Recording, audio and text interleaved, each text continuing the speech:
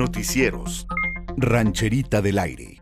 Las oficinas del bienestar arrancan este lunes 6 de julio el pago de 68 y más y a discapacitados en el área rural y el martes en Piedras Negras. Así lo dio a conocer Margarita Villa, coordinadora de las mesas pagadoras. Empezamos el día 6 en San Isidro a las 11 y media y en Venustiano Carranza de una y media en adelante.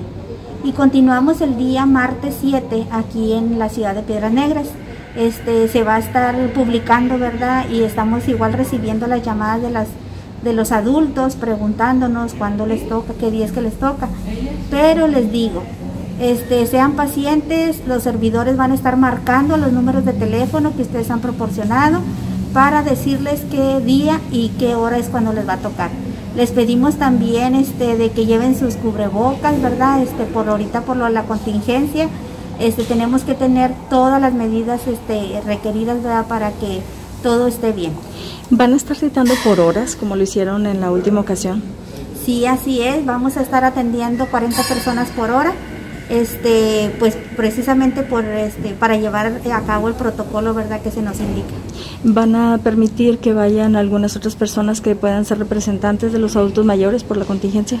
Sí, así es, eso es muy importante, ¿verdad? Que aquellos adultos que ya registraron a, sus auxiliares, este, ellos pueden asistir. Aquellos que no son auxiliares tienen que tienen que llevar la carta poder firmada por el beneficiario y si es posible una fotografía, ¿verdad? Este, de la persona o un video que nos diga eh, o nosotros a lo mejor igual también vamos a llamarle al beneficiario que nos diga, ¿verdad? Tenemos que estar este, siempre al pendiente de que el apoyo sea entregado al beneficiario. Se van a entregar varios eh, bimestres juntos. Así es, son este, dos bimestres. Este, como la vez pasada, ¿verdad? Entregamos marzo, abril, mayo y junio. Ahora va a ser julio y agosto, septiembre y octubre.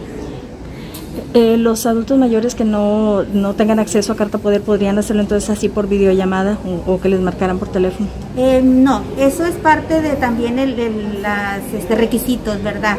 Porque igual ellos no pueden ir y no tienen un auxiliar o el auxiliar no se encuentra y ellos tienen que mandar una carta poder firmada por ellos con dos testigos aparte del que va a ir a cobrar por la persona, que no es el auxiliar ya que si es el auxiliar, bueno, solamente necesita este, su copia de la credencial con número de teléfono, como las dos copias del beneficiario con número de teléfono. A quienes quedaron pendientes de alguno de los bimestres anteriores, ¿aquí se les va a entregar también? Eh, sí, miren, ahorita estamos revisando el padrón. Este, apenas lo vamos a imprimir y vamos a checar, ¿verdad? Este, si quedó algún pendiente, este, vamos a verificar, ¿verdad?, que les haya llegado. ¿Nada más va a ser para 68 y más o también para discapacitados? Así que bueno que, que mencionas eso, sí es este, para 68 y discapacidad.